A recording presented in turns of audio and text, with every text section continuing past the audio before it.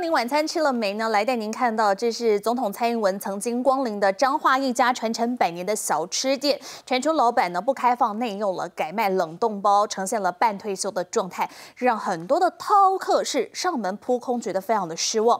老板娘说，就是因为人手不足，所以只能先这样。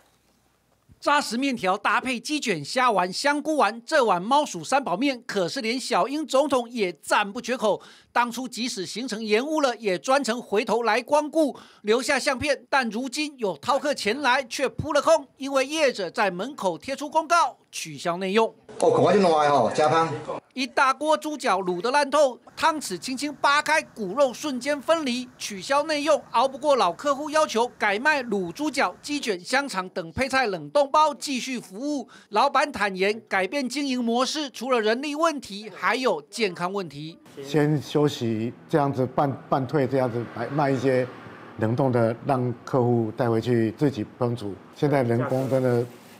不好，不好请。而后有机会的话，缘分到的时候，也许我们就可以再再次的再度品尝猫鼠面。卤好的猪脚包装冷冻销售。之前彰化另一家知名矿肉饭老板也因为年龄、健康还有人力停止营业，现在也应客户要求做冷冻食品。